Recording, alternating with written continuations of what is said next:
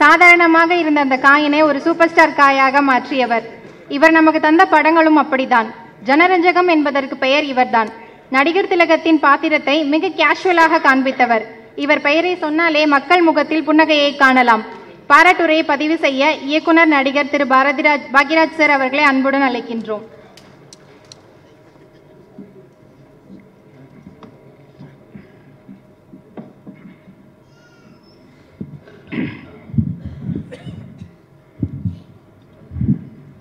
இதை எடுத்துக்கலாம்.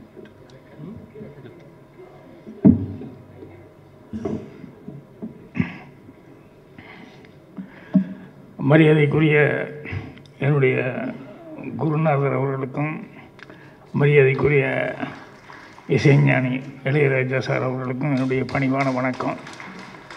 அதே மாதிரி வெளிநாட்டிலேருந்து வந்திருக்கிற பிரமுகர்கள் உட்பட மேடையில் இருக்கிறவங்க எனக்கு எல்லாத்துக்கும் என்னுடைய பணிவான வணக்கம்.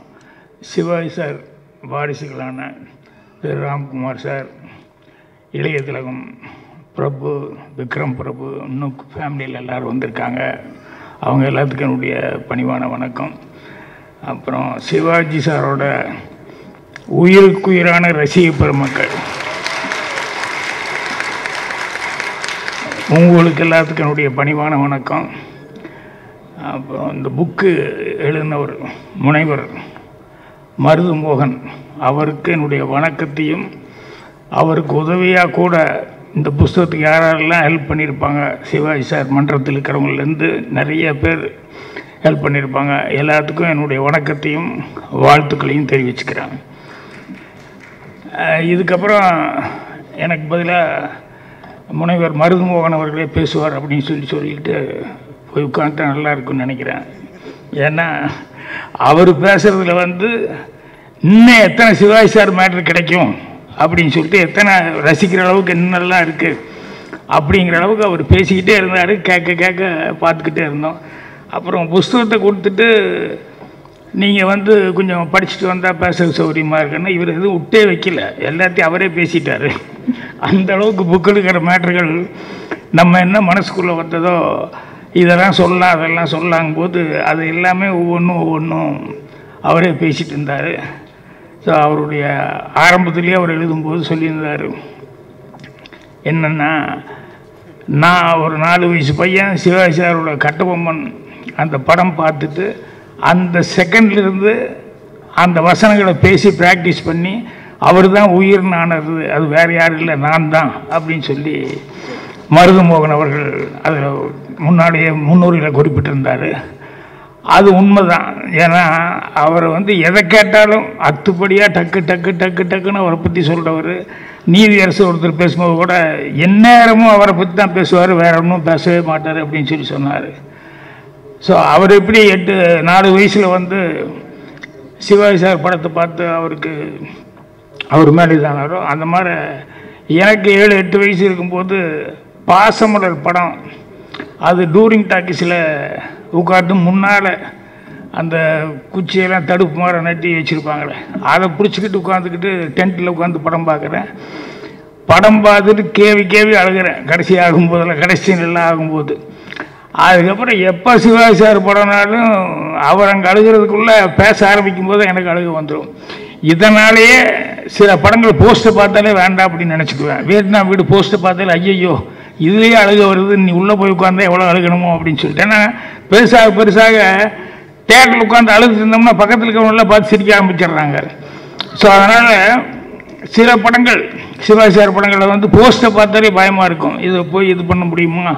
போய் அழுதுட்டு இருக்கணுமே அப்படிங்கிற அளவுக்கு இருக்கும். அந்த அளவுக்கு அவருடைய படங்கள் வந்து ஒரு தாக்கத்தை ஏற்பட்டுச்சு ஸோ அவரையெல்லாம் எம்ஜிஆர் சிவாஜியெல்லாம் பார்க்க முடியுமா அப்படின்னு சொல்லிட்டு கோயம்புத்தூர் இருக்கும்போது சுற்றிட்டு இருந்துட்டு அதுக்கப்புறமா வந்து இங்கே சென்னைக்கு வந்ததுக்கப்புறம் நான் சினிமாவில் வந்து அதுக்கப்புறம் வந்து படங்கள்லாம் செய்ய ஆரம்பிச்சதுக்கப்புறம் ஃபஸ்ட்டு ஃபஸ்ட்டு சிவாஜி சார் படம் இந்த படத்தில் இவர் நடித்தா நல்லா இருக்கும் அப்படின்னு சொல்லி தாவணி கனவுகளில் வந்து கேட்குறதுக்கு ஒரே பயமாக இருந்தது. ஏன்னா அவர்கிட்ட போய் எப்படி நான் ஒரு டைரக்ஷன் பண்ணுறேன் நடிங்கன்னு எப்படி போய் கேட்குறது அப்படின்னு சொல்லிட்டு ரொம்ப யோசனையாக இருந்தது. ஆனால் எல்லாரும் இல்லை இல்லை அதெல்லாம் அவர் ஒன்றும் நினைக்க மாட்டார் நீங்கள் தைரியமாக போய் பேசுங்க அப்படின்னு சொல்லி சொன்னார். அதுக்கப்புறம் தயங்கி தயங்கி போய் ஒரு பத்து நாள் காலிச்சிட்டு வேணும்னா கதை சொல்கிறேன் அப்படின்னு சொல்லி சொல்லி அப்புறம் போனோன்னையுமே அவர் சொன்ன டைலாக்கு எனக்கு ரொம்ப என்னை எப்பவுமே ஊரில் இருக்கிறவங்க தான் சொல்லுவாங்க. இளையதிலகம் பிரபு கரெக்டாக சொன்னார். பாக்கின்னு சொல்லி கூப்பிடுறது வந்து ஊரில் இருக்கிறவங்க வீட்டில் இருக்கிறவங்க ரொம்ப க்ளோஸாக பழகுனவங்க தான் பாக்கின்னு கூப்பிடுவாங்க. அதுக்கப்புறம் கலைஞர் பாக்கின்னு கூப்பிட்டுருக்காரு. சிவாஜி சார் வந்து பாக்கி அப்படின்னு சொல்லி தான் கூப்பிடுவார். அப்புறம் நடிக்கணும் அப்படின்னு சொல்லி சொன்னோடனே கதையை கேட்டு சரி அப்படின்னு சொல்லி சொல்லிட்டார். அப்புறம் ரொம்ப சந்தோஷமாக இருந்தது. என்னென்னா பார்க்க முடியுமான்னு நினச்சவங்கள வந்து இப்போ நம்ம டைரக்ட் பண்ண போகிறோம் அப்படிங்கும்போது அவ்வளோ பெரிய ஒரு சந்தோஷமாக இருந்தது. அப்புறம் ஷூட்டிங்கில் வந்து ஃபஸ்ட்டு டே அவருக்காக என்ன திங்க் பண்ணுறது ஏன்னா முதல் முதல் இன்ட்ரடக்ஷன் பண்ணும்போது சும்மா சாதாரணமாக சிவாஜி சார் இப்படி வந்தாருன்னு க்ளோஸில் காமிக்கிறதோ அப்படி காமிக்கிறது இப்படி காமிக்கிறது. இதெல்லாம் இல்லாமல் வேறு மாதிரி ஏதாவது வித்தியாசமாக காமிச்சா நல்லா இருக்குமே அப்படின்னு சொல்லி யோசிக்கும் போது தான் அவருக்கு நம்ம நம்மளே கௌரவப்படுத்துற மாதிரி படத்தில் சீனில் வந்து அது வந்தால் நல்லா இருக்குமே அப்படின்னு சொல்லிட்டு அதுக்கப்புறம் தான் யோசிக்கும் போது அவருடைய கேரக்டர் வந்து நம்ம மிலிட்ரி கேரக்டர் அப்படிங்கிறதுனால எப்பவுமே நேதாஜியினுடைய ஃபாலோயர் அப்படிங்கிறதுனால காலையில் அவர் சைக்கிள் கடைக்கு எதிர்த்தாப்புல வந்து அந்த கொடிக்கம்பம் இருக்கும். அதில் வந்து ஃப்ளாக் ஏற்றுவார் அப்படிங்கிறது ஒரு கான்செப்டாக வச்சுக்கலாம். அப்படின்னு வச்சுக்கிட்டு அவரை இன்ட்ரடக்ஷன் பண்ணும்போது கொடி அப்படியே மேலே போகுது. ஒரு கை வந்து அப்படி இப்படி பண்ணி பண்ணி பண்ணி பண்ணி கொடி மேலே போகுது. அந்த கொடி வந்து கட்டி உள்ள பூவெல்லாம் வச்சுருப்பாங்க.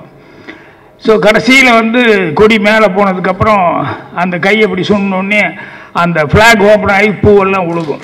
கட் பண்ணால் சிவாஜி சார் ஃபேஸில் அவருடைய பாட்டு பாரு பூவெல்லாம் அது உழுகும் அதுதான் ஃபஸ்ட் இன்ட்ரடக்ஷன் அப்படின்னு சொல்லி அது ஏன்னா அவரை நம்ம வந்து படத்தில் அது வந்து எனக்கே அப்போ தான் நான் நினச்சிக்கிட்டேன் பரவாயில்ல இப்போ நல்லா திங்க் பண்ணியிருக்கேன் அவருக்காக. அப்படின்னு சொல்லிட்டு ஒரு இமயத்துடன் நினைவதில் பெருமை கொள்கிறோம் அப்படின்னு சொல்லி அங்கே டைட்டில் போட்டு ஸ்டார்ட் பண்ணேன். அப்புறம் ஃபஸ்ட் டே ஷூட்டிங்கு சார் உட்காண்ட்ருக்காரு ஒரு அசிஸ்டன்ட் டைரக்டர் கூப்பிட்றாரு. ஐயாப்பா என்னப்பா சாட்டு பாக்கி எனக்கு தான் வச்சுருக்கான்னு நினைக்கிறேன்.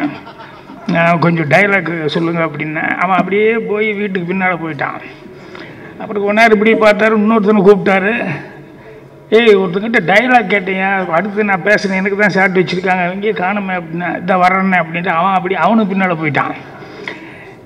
என்னடா ரெண்டு பேர்த்துட்டு சொல்லிட்டு காணணும் அப்புறம் இன்னொருத்தர் அப்போ நீ அசிஸ்டன்ட் தானே வா அப்படின்னேன் அவனையும் கூப்பிட்டு டயலை கேட்டேன் ரெண்டு பேரும் காணாமல் போயிட்டாங்க. ஷார்ட்டில் ரெடி ஆயிடுவாங்க லைட்டிங்லாம் முடிய போகுது அப்படின்னு தான் வந்துடுறேன்னு அவனும் பின்னால் போயிட்டான்.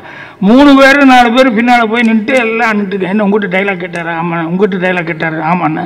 அதுதான் வந்துட்டேன் அப்படின்னாங்க. அப்புறம் கடைசியில் பார்த்தாரு யாருமே வரல. கடைசியில் நீ பாக்கி இங்கே வா. எனக்கு தானே ஷார்ட் வச்சுருக்கேன் ஆமாம் டயலாக் கேட்குறேன் ஒவ்வொருத்தனா கேட்குறேன் ஒருத்தனையுமே காணாமல் போயிட்டானுங்க. என்னென்னு எனக்கு தெரியல. ஆனால் வச்சுட்டு என்ன வஞ்சகமாக பண்ணுறேன் இருந்தால் தானே கொடுப்போம். ஓ என்னையா சொல்ல டயலாக் என்ன? இல்லைண்ணா ஷார்ட்டப்பு நீங்கள் வரும்போது அப்படி சொல்கிறேன் அப்படி சொல்கிறியா டயலாக்கெல்லாம் எழுதி வைக்கணியா முதல்ல புக்ஸ் புஸ்தகம் இல்லையா? இல்லைண்ணா அதெல்லாம் பின்ன? இல்லை அப்படியே யோசிச்சு யோசிச்சு மனசுக்கு எப்படி நீ இப்படி சொல்லுவேன் நான் அப்படி கேட்டு அப்படி நடிக்கிறதாண்ணே இல்லைண்ணா நீ ஈஸியாக உடனே பேசிடலாம். அது சரியா? இது சினிமாவில் எப்பவுமே இல்லை. எல்லாருமே ஒரு பேப்பர் பேனா எல்லாம் வச்சுக்கிட்டு இருப்பாங்க. நோட் வச்சுட்டு இருப்பாங்க. புக்கு வச்சுட்டு இருப்பாங்க. என்ன அப்படியே சொல்கிறேன் அப்படி நடி அப்படிங்கிற. இல்லைண்ணா இப்படியே பழக்கமாகி போச்சு. எப்படி? ஏன்னா கதையை ரொம்ப திருப்பி திருப்பி மூணு மாதம் நாலு மாதம் அஞ்சு மாதம் அப்படியே பேசி பேசி பேசி பேசி எனக்கு ஃபுல்லாக சீன் மைண்டில் இருக்கும். ஸோ இங்கே வந்து உங்களுக்கு சொல்லிகிட்டு இருக்கும்போது அசிஸ்டண்ட் ஒன்று எழுதிக்குவாங்க. எப்போ எனக்கு சொல்லிக் கொடுக்கும்போது அவங்க எழுதிக்குவாங்க. நான் அது எதுக்கு என்ன? சென்சார் காமிக்கணுமில்ல. ஐயோ எனக்கு புதுசாக இருக்கியா அது என்னையா சினிமா எடுக்கிறீங்க? இப்படி தான் எடுத்திருக்கீங்க எத்தனை நாளா? நீ எப்படியா சக்ஸஸ் ஆன அப்படின்னாரு. இப்படி தான் நான் எப்படியோ எடுத்து சக்ஸஸ் ஆகிட்டேன் அப்படின்னு சொல்லி சொல்கிறேன் அதை விட அடுத்த டைலாக் இன்னொரு டைலாக் அவர்கிட்ட சொன்னது அப்புறம் வீட்டுக்கு போனப்போ பாகி நீ எங்கள் வீட்டு பொம்பளைகளெல்லாம் ரொம்ப எல்லா பொம்பளைகளையுமே நீ வந்து ரொம்ப கெ- கெடுத்து வச்சிட்டியா? அப்படின்னாரு. நான் என்னென்ன பொம்பளைலாம் கெடுத்து இல்லையா நான் ஒரு நாள் ஷூட்டிங் எனக்கு அஞ்சு மணிக்கு முடியறது ரெண்டு மணிக்கு முடிஞ்சிடுச்சு ரெண்டரை மணிக்கு வீட்டுக்கு வந்து பொம்பளைலாம் காணோம். எங்கடா போனாங்க ஒற்றியமாக காணோன்னா எல்லாம் சினிமாவுக்கு போயிருக்காங்கன்னு. சரி வேலைக்கார பொம்பளை இல்லை அவங்களையும் கூப்பிட்டு தான் போயிருக்காங்கன்னு. அப்படி என்னடா சினிமாவுக்கு போயிருக்கேன்னு? இது இந்த முந்தான முடிச்சுன்னு ஒரு படம் வந்திருக்கான். அதுக்கு போயிருக்காங்க. ஓ இந்த பாக்கி நடிச்சதா ஆமாம் அப்படின்னு. அப்புறம் அடுத்த நாள் மறுபடியும் ஷூட்டிங் கேன்சல் ஆகி போச்சு. அப்புறம் நான் மறுபடியும் மூணு மணிக்கு வந்தேன். மறுபடியும் பொம்பளைகள் யாரையும் காணும். எங்கே போயிருக்கானே? இன்றைக்கி சினிமாவுக்கு தானே போய் இன்றைக்கி என்ன சினிமா?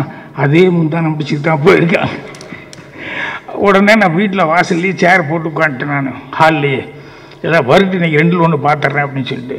வந்த உடனேயுமே இவர் இருப்பார்னு தெரியாமல் போச்சு அவங்களுக்கு. அதனால் வந்த உடனேயுமே டக்குன்னு எல்லாம் அச்சோ என்ன படம் இது? இப்படி ஒரு படமா? சேச்சே என்ன இவ்வளவு ஐயோ பார்க்கவே முடியல.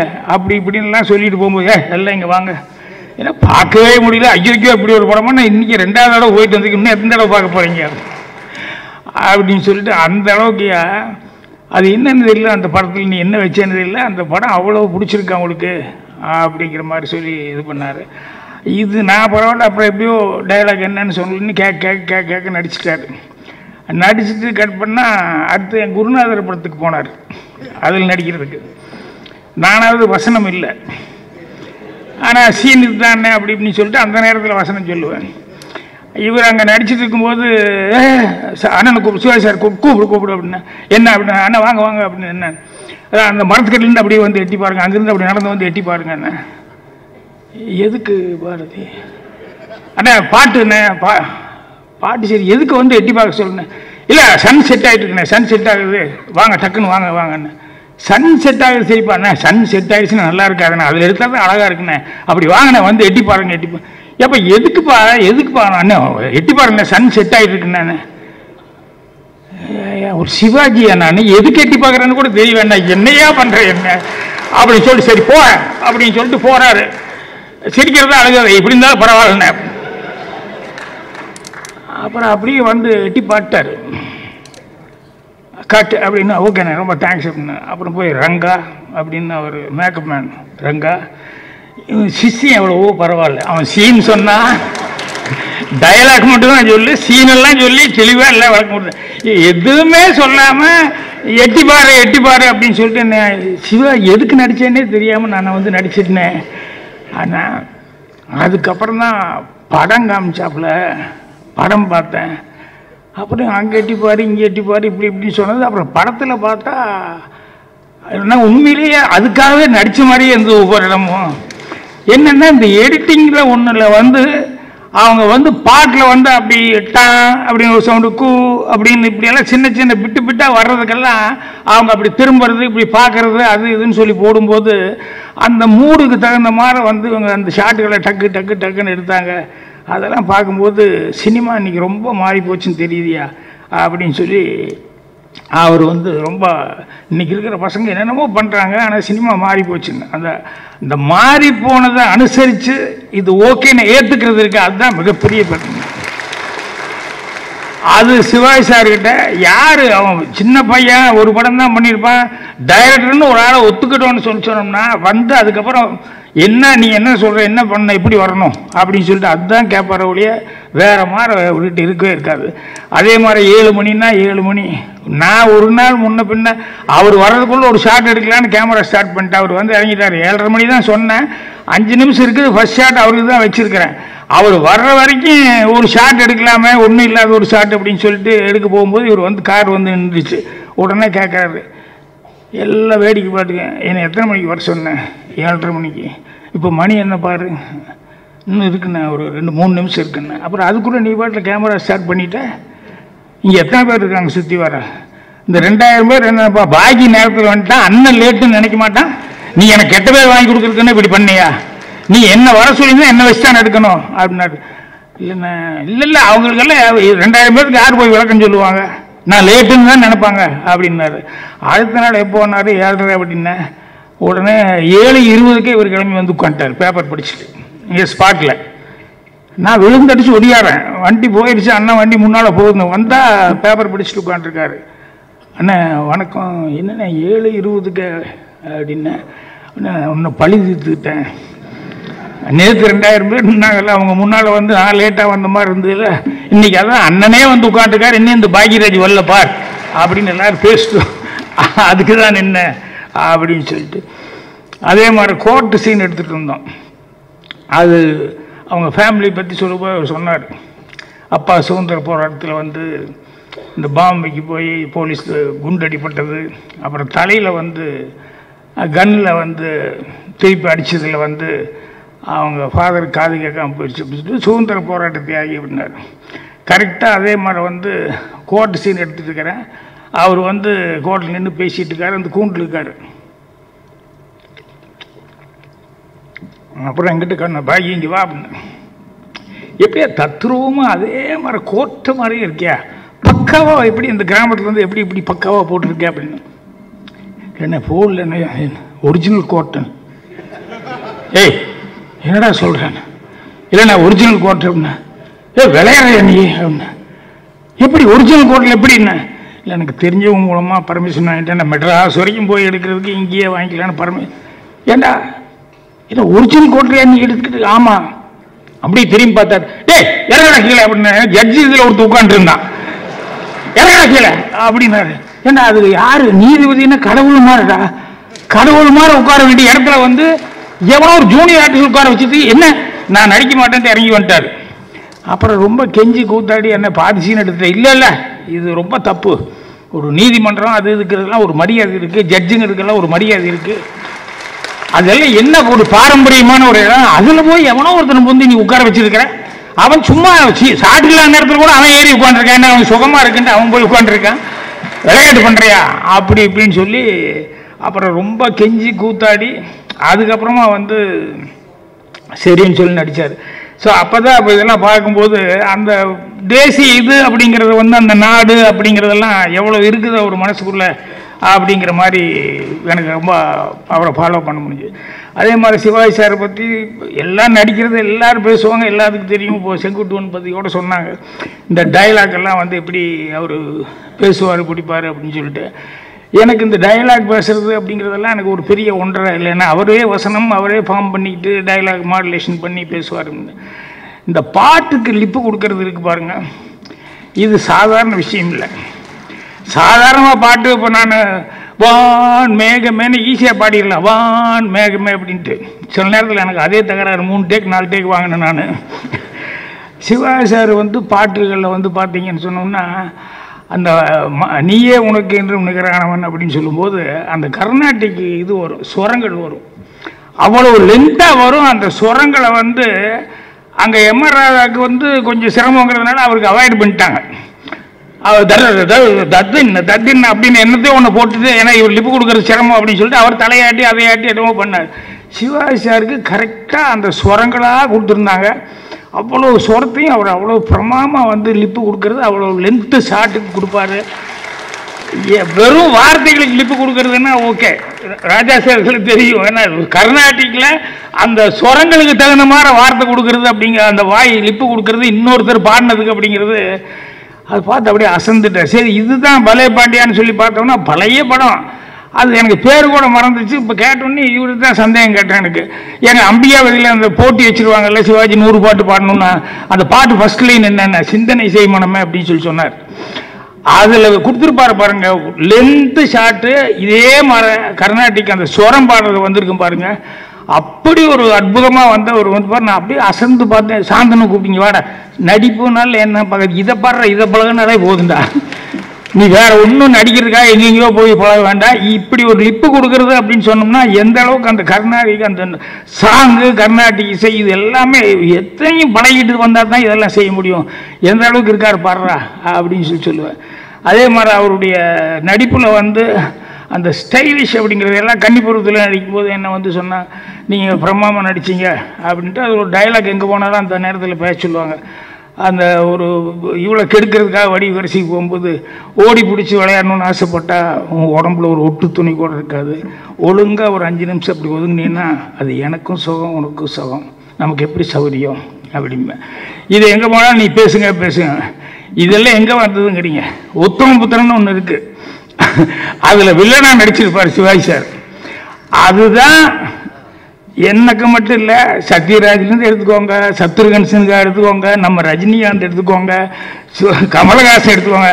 யாரு எல்லாருக்கும் அங்கே வந்து எங்கேயோ ஒரு பாதிப்பு அவர்கிட்ட இருந்து இருந்துக்கிட்டே இருக்கும். அந்த அளவுக்கு வந்து அவர் வந்து அந்த வில்லனாக நடித்ததை வந்து நான் அதில் ஒரிஜினலாக அந்த ஹீரோவை நடித்த சிவாஜி பிடிக்கவே இல்லை எனக்கு. இந்த வில்லன் தான் எப்போ வருவார் எங்கடா இது பண்ணுவார் அப்படின்ட்டு. அதில் ஒரு பாட்டுக்கெல்லாம் கைதட்டல் அவர் வந்து இது பண்ணுவார் பாருங்க அது ஒரு ஃபாரின் அந்த டைப்பில் அந்த பாட்டு பாடுவார் ஒன்றும் ஒன்றும் ரெண்டு ஹ, ஹ, ஹ அப்படின்ட்டு. அவ்வளவு ஸ்டைலாக ஆக்ட் பண்ணியிருப்பார் அதே மாதிரி குடிக்க சிவா சிவாஜி சார் சிகரெட் குடிக்காதன்னு வச்சுக்கோங்களேன் அந்த யார் அந்த நிலவு? அந்த பாட்டை பார்த்தானா போதும். அந்த சிகரெட் குடிச்சிட்டே அப்படி வருவார். அந்த பாட்டு போகிற நைட்டை போயிட்டு சிகரெட் குடிச்சா வரும் இதை பார்த்தாலே டெம்ட் ஆகும். நம்மளும் சிகரெட் குடிக்கலாமா? அப்படின்னு சொல்லிட்டு.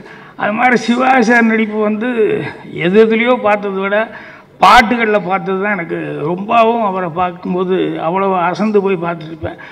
அதே மாதிரி நான் நினச்சிக்குவேன். என்னென்னா சும்மா ஒரு கதாசிரியர் அந்த மாதிரி வந்து இந்த கடவுள் வந்து எப்பவுமே நேரில் வர்றதில்ல அப்படின்னு சிவபெருமான்கிட்ட போய் கேட்டாங்க என்னங்க இது? நேர்லேயே வர்றதில்ல வர்றதில்ல ஊரில் எல்லாம் சொல்கிறாங்க இருக்கிறீங்களா இல்லையான்னு. யோ எனக்கு பதிலாக சிவாஜின்னு ஒரு ஆள் இருக்காரு போயா திருவிளையாள் படம் பார்க்க சொல்லியா அப்படிங்கிற மாதிரி என்ன வேஷம் போடணும் அப்படின்னு சொன்னாலும் கடவுளே கூட வேஷம் போடுறதுனா கூட அது சிவாஜி சார் தான் கட்டபொம்மன்னா அது சிவாஜி சார் தான் அப்படிங்கிற மாதிரி மைண்டில் இப்படி நம்ம யார் யாரெல்லாம் பார்க்க முடியலையோ யார் யாரெல்லாம் நமக்கு முன்னாலே போயிருந்தாங்களோ அதை எல்லாமே சிவாஜி சார் வடிவத்திலேயே தான் இன்றைக்கும் பார்த்துட்ருக்குறோம் அதனால் வேறு அவர் அவரை பார்த்துட்டாலே போதும் கடவுளை பார்த்த மாதிரி எல்லாத்தையும் பார்த்த மாதிரிங்கிற மாதிரி அந்தளவுக்கு அவர் வந்து ஒரு சரித்திரத்தை கிரியேட் பண்ணிட்டு போயிருக்காரு. அப்படி சரித்திரத்தை கிரியேட் பண்ணவருக்கு வந்து இவர் ரெண்டு பாகம் மூணு பாகம் அப்படின்னு சொல்லிட்டு நம்ம முழு முனைவர் வந்து புஸ்தகம் எழுதியிருக்காரு அப்படின்னு சொல்லி சொல்லும்போது அவருக்கு எப்படி நன்றி தெரிவிக்கிறதுன்னு தெரியல. அது உங்களுடைய அனைவருடைய சார்பாகவும் அவர் கைகூப்பி அவருக்கு வந்து ஏன்னா ஹிஸ்ட்ரியில் அவ்வளோ பெரிய சமாச்சாரத்தை அவர் பண்ணியிருக்காரு. அவருக்கு என்னுடைய மனமார்ந்த நன்றி தெரிவிச்சுக்கிறேன். அது இன்னைக்கு இசைஞானி அவர்கள் அவர் இருந்து அவர் வெளியிட்டு எங்கள் டைரக்டர்லாம் முன்னிலை வகித்து இதெல்லாம் பண்ணியிருக்கிறது இதில் நான் கலந்துக்கிட்டதுங்கிறது எனக்கு ஒரு மிகப்பெரிய உண்மையிலேயே பாக்கியன்னு சொன்னார். எங்கள் அம்மா சொன்ன மாதிரி பாக்யராஜின்னு பேர் வச்சது. உண்மையிலேயே பாக்கியமாக கருதுகிறேன் நன்றி வணக்கம்.